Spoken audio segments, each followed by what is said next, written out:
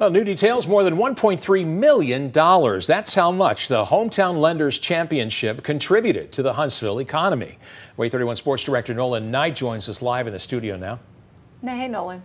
Yeah, what's up, guys? Uh, obviously, the Hometown Lenders Championship was a huge success. The week the long week of the Korn Ferry Tour being in town brought in 5,000 fans, professional golfers, and caddies from across the world to the Rocket City. Despite the tournament being chopped down to just a 54 hole contest due to heavy fog, it was still able to bring in that big profit. As we said, more than $1.3 million. The Hometown Lenders Championship is set to return to the ledges April 29th through May 5th of next year. And Joel Lamp, sports manager for the Huntsville Madison County Convention and Visitors Bureau, said, quote, having a Korn Ferry Tour event continuing to thrive in Huntsville fortifies our strategy to bring top shelf events to our community that lift our profile, provide an enhancement to the quality of life, and make a significant economic impact. I think it's safe to say for everyone that we're all excited